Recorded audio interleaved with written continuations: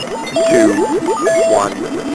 Now, one of the you know the kind of conventional wisdom these days in the music industry is you know audiences uh, don't really have an attention span anymore. You know, their audience wanders off and goes somewhere else.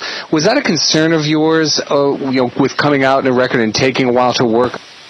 I'm, I'm, I'm, you know, you asked me this question. It has never concerned me once, and I've never thought of it because I've always known that music is truly great, people want to see it or hear it. Mm-hmm long as you're an innovator and a pioneer, you know, and uh, that's the most important thing. You gotta believe in yourself.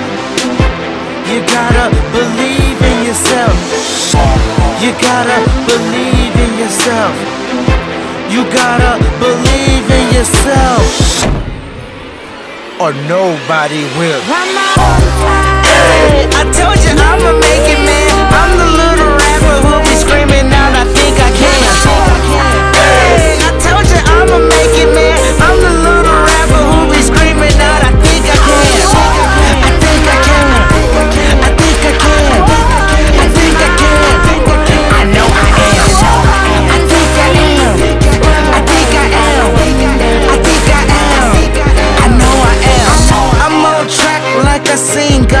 Schedule.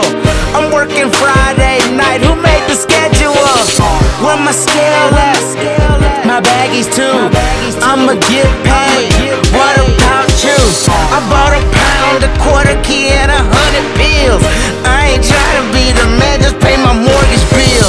And ain't nobody trying to brag, I'm trying to keep it real. You know, paper in your pocket give you sex appeal. Hey, I told you I'ma make it,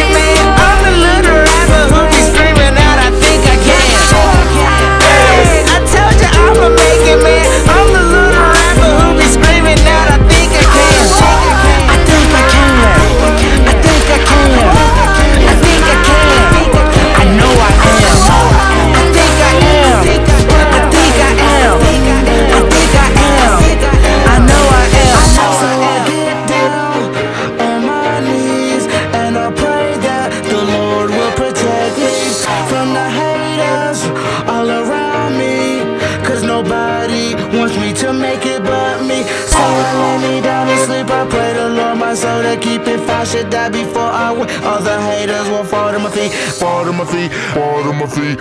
Fall to my feet. Fall to my feet.